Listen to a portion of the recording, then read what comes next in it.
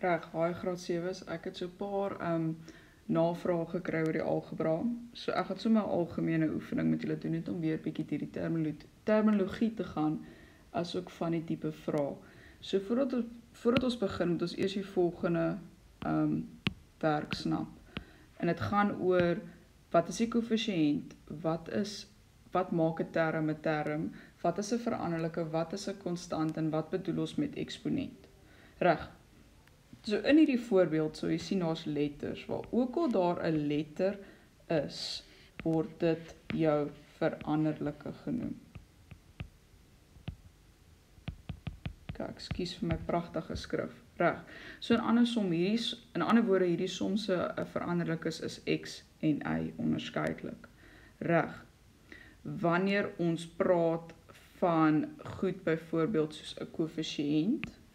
Nou koëffisiënt is die syfer wat vas aan die veranderlike verbind is. Hierdie word jou koëffisiënt genoem. Reg, in ander woorde 2 en 4 is jou ehm um, koëffisiënte. So onthou, koëffisiënte en veranderlikes gaan altyd saam. Ehm um, ek gebruik altyd in die klas die voorbeeld van as jy maar jou winkel toe sê sy vra nie vir jou om een bottel melk te koop nie, sy sê vir jou koop 'n bottel melk. So in dieselfde asem as ek vir jou 'n x gee, um, is dieselfde om te sê 1x. So x se koëffisiënt is 1. Maar jy hoef dit net te weet as ek dit uitsonder. Reg. Nou dit is koëffisiënte, dit is veranderlikes. Nou die volgende een wat ons het en ek wil net hierdie graag verander na 'n plus.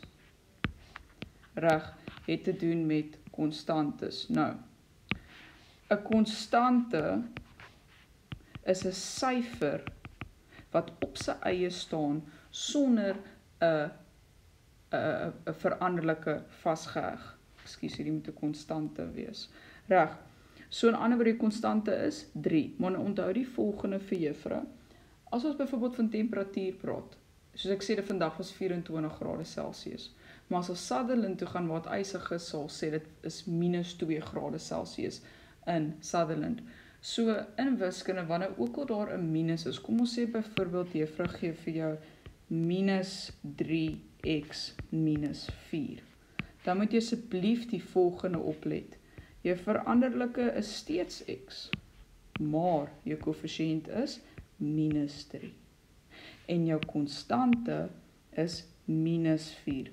Want in wiskunde as daar minus voor die um, die getal is of die veranderlike is, dan moet dit genoem word. Dink terug aan temperature. Ons sê nie dit is positiewe 24 grade Celsius nie, ons sal sê dis minus 2 grade Celsius. Ons moet die minus noem. Reg. Die volgende ding waarmee kinders sukkel is terme. Hoeveel terme is daar in 'n stelling? So terme moet jy die volgende weet. 'n Maal en deel OK, verbind terme. OK, dis soos gom, dit plak hulle vas aan mekaar.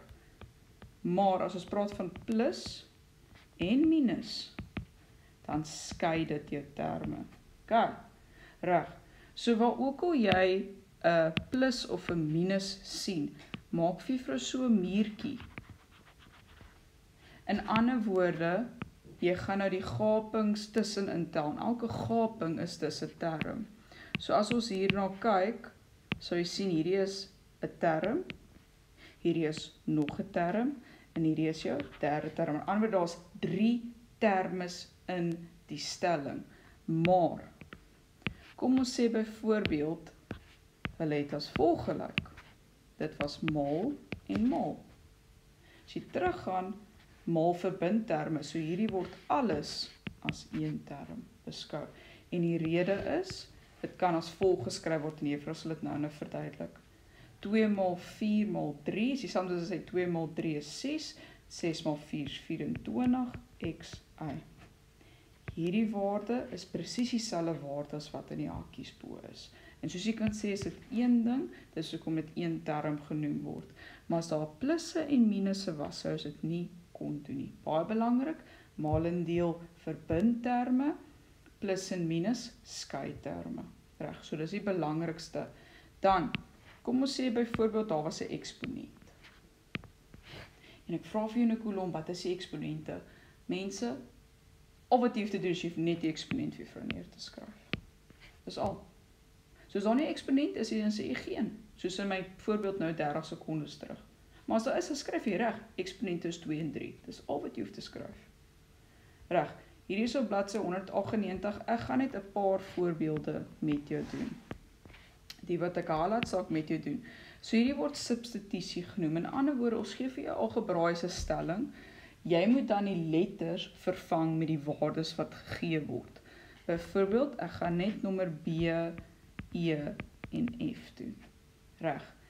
M N, M se waarde is 6. Ek kyk hierso en N se waarde is 2. 6 minus 2 is 4. Per E het jy m kwadraat. m se waarde is 6, so dis 6 kwadraat, die antwoord is 36. F het jy die vierkantswortel van n plus 7. As jy selfs as sê vierkantswortel van 2 plus 7, onthou wanneer ons 'n som of iets binne 'n vierkantswortel of 'n dermagswortel het, moet ons dit eers vereenvoudig. So dit is anderwoorde die vierkantswortel van 9, jou antwoord is dus 3. En mense, dit is so maklik soos dit. Jy hoef niks meer of niks minder te doen nie. Reg. Kom ons kyk terug hierso. Identify the variables and constants in each expression. Hierdie is op bladsy 198 as jy Afrikaanse vrae soek. Ek het ongelukkig nie die Afrikaanse PDF met my nie. Ehm um, dis dieselfde wat jy van die begin van die video verduidelik het. So as kyk ek so A B en C doen van nommer 1. OK. Jou variable is dus y en jou constant is -3. Nie 3 nie, -3, want dink terug aan temperatuur. As daar minus voor dit staan, dan moet dit genoem word. As dit was y plus 3, sou jy net geskryf het 3. Reg. 2x, jou variable is dus of jou veranderlike is dus x Hier is nie 'n konstante nie. 2 is nie 'n konstante nie want konstante moet op sy eie staan. So hierdie is dus geen konstante nie. 2 is 'n koëffisiënt. Dan C het ons m oor 4, is dieselfde as 'n m gedeel deur 4. OK? So jou veranderlike is m, reg? Nou, baie mooi. Voor jy sê dat 4 is 'n konstante, neem die volgende in ag. Hierdie is dieselfde as om te sê 4 gedeel. Ag sorry, m gedeel deur 4 wat dieselfde is om te sê 'n kwart maal met m. So inderdaad is daai nie 'n konstante nie, maar dit is 'n koëffisiënt en sy koëffisiënt is 1 oor 4. Bietjie van 'n komplekse vraag. Moenie te veel hare oor dit verloor nie. Solank jy net sê jou veranderlike is m, is juffrou meer as gelukkig. Reg. Kyk by nommer 2 vir juffrou ek sal nommer A, E en F doen. Reg. Jy moet hierdie algebraiese uitdrukkings in 'n verkorte vorm skryf. 3 maal x dieselfde as 3x.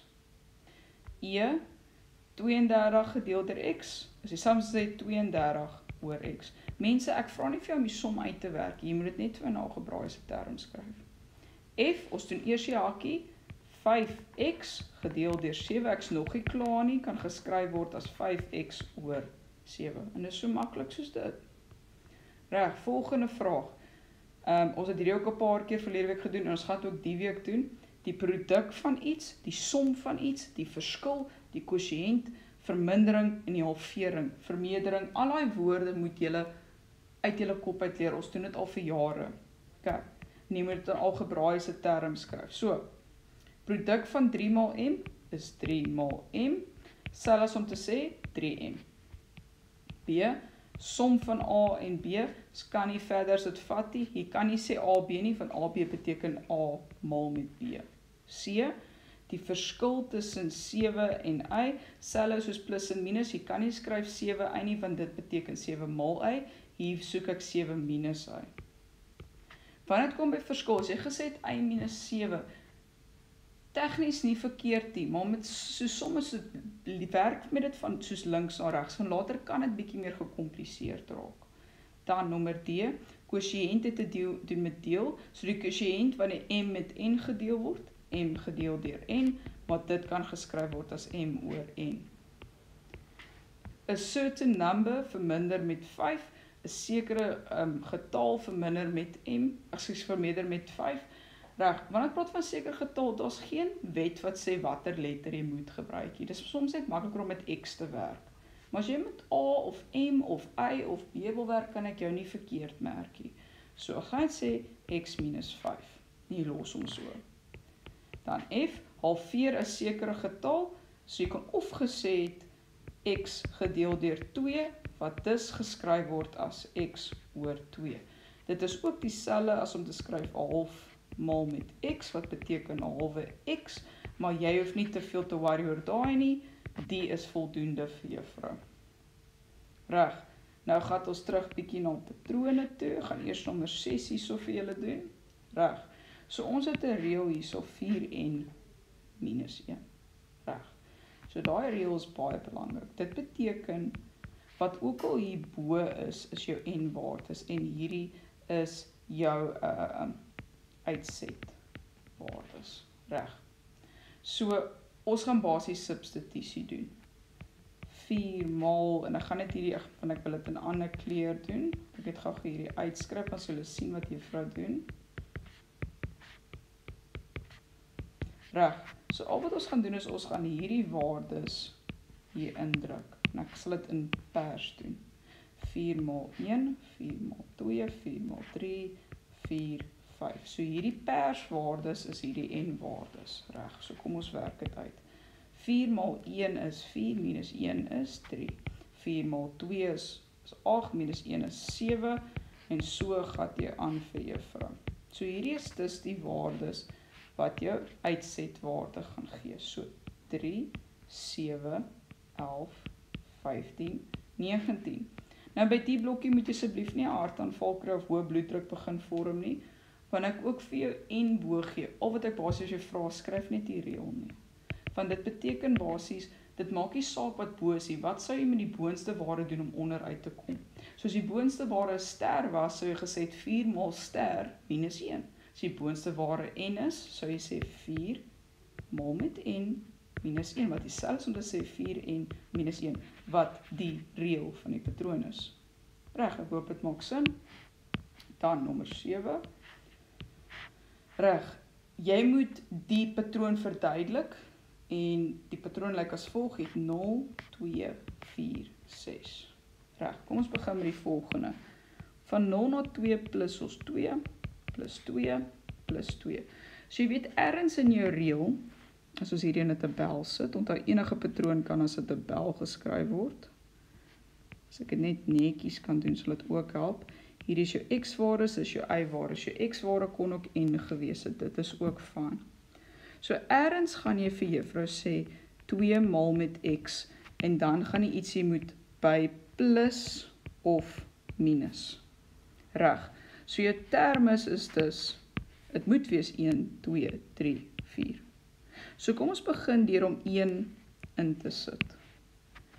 Ons het dus 2 maal 1, daar gee vir ons 2 maar ons moet by 'n waarde kom van 0. So wat doen ons met 2 om by 0 te kry? Ons kan sê minus 2. So in ander woorde 2 maal x minus 2. So nou toets ons dit. Kom ons toets dit sommer met hierdie ene. Reg. So 2 maal 3 minus 2 moet vir juffrou 4 gee. OK. 2 maal 3 is 6 minus 2 of jou 4 gee en inderdaad kry die reël. So dis wil sê jou reël is 2 maal met x minus 2 wat dieselfde is as 2x minus 2. Kon ook gesê 2n minus 2. Reg. En dit is die laaste van daai. So daai is basies 'n opsomming van alles wat ons gedoen het tot en met nou. As jy vashak, moet jy my persoonlik kontak dat ek individueel deur jou vrae kan